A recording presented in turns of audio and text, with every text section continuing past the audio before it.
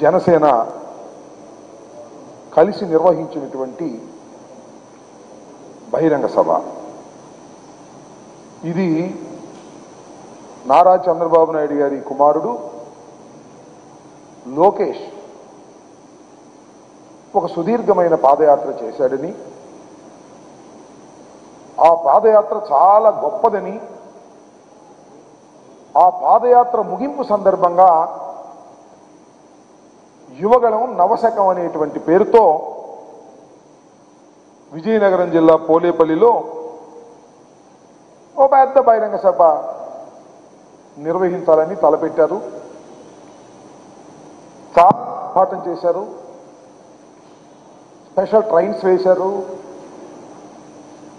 బస్సులు వేశారు. రాష్ట్ర నలుమూలల నుంచి జనాన్ని సమీకరించేటటువంటి కార్యక్రమం చేశారు. ఆరు లక్షల మంది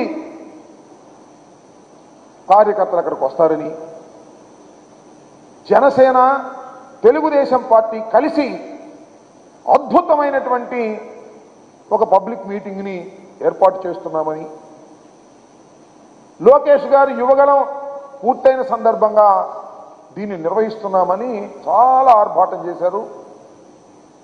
చాలా గందరగోళం చేశారు. చాలా పెద్ద ఏర్పాట్లు చేశారు. చివరికి చూస్తే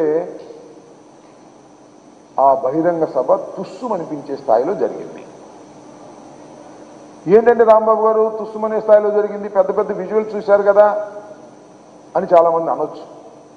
నేను మనవి చేస్తున్నా ఆరు లక్షల మంది వస్తారని ప్రచారం చేసుకుంటే ఎంతమంది వచ్చారు? వచ్చిన వాళ్ళు ఎంతసేపు ఉన్నారు? ఎవరు ఉపన్యాసాలు విన్నారు? మధ్యలో ఎందుకు వెళ్ళిపోయారు? దీన్ని విశ్లేషించుకోవాల్సినటువంటి అవసరం తెలుగుదేశం పార్టీకి జనసేనకి ఉంది అని ఈ సందర్భంగా నేను చెప్పదలుచుకున్నా.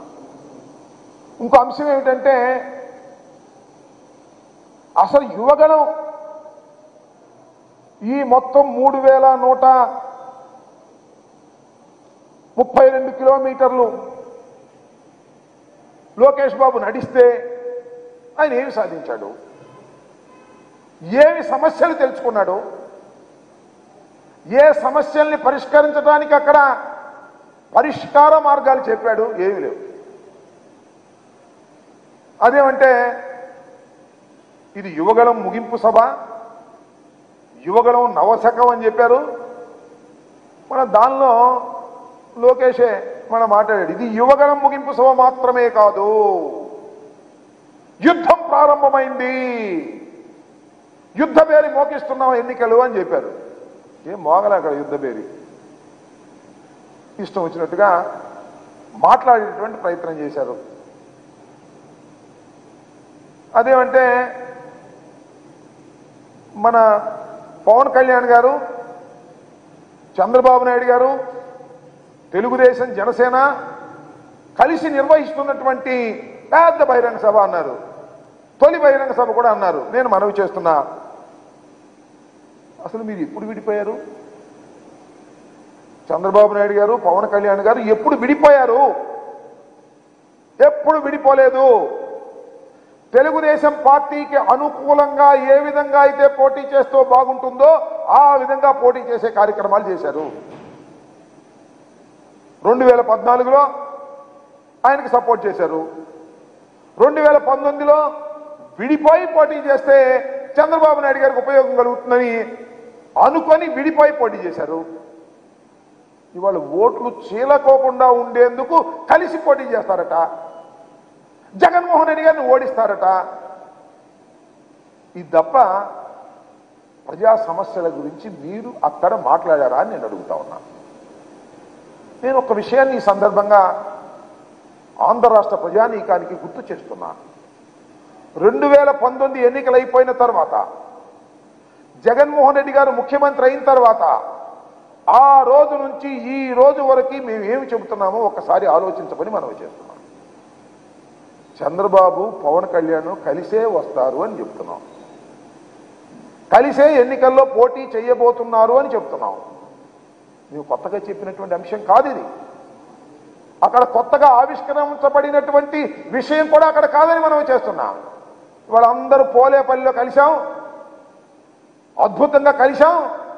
మేం కలిస్తే ఉమ్మడి ప్రభుత్వం వస్తుంది అనేటువంటి మాట మాట్లాడి వారి క్యాడర్ని నమ్మించడానికి ప్రయత్నం చేస్తున్నారు తప్ప ఏమీ కాదు అని మనవి చేస్తున్నాను అసలు నేను అడుగుతా ఉన్నా మీరు కలిసే ఇంతకుముందు పోటీ చేశారు?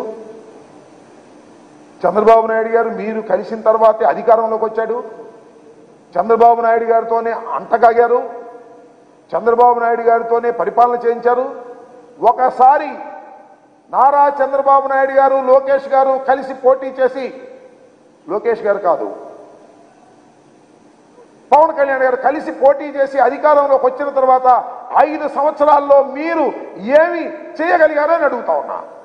ఐదు సంవత్సరాలు అడ్డగోలుగా పరిపాలన చేశారు.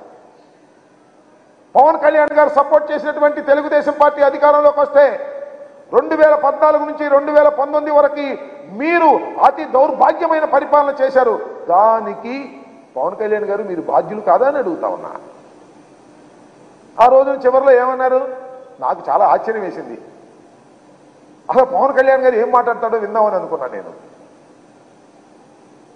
పవన్ కళ్యాణ్ గారు అధికారంలోకి వచ్చిన తర్వాత చంద్రబాబు నాయుడు నాలుగు సంవత్సరాలు ఐదు సంవత్సరాలు పరిపాలన చేసిన తర్వాత చివరిలో పవన్ కళ్యాణ్ గారిని పవన్ కళ్యాణ్ గారు చంద్రబాబు గారిని దూషించని విధంగా దూషించాడు.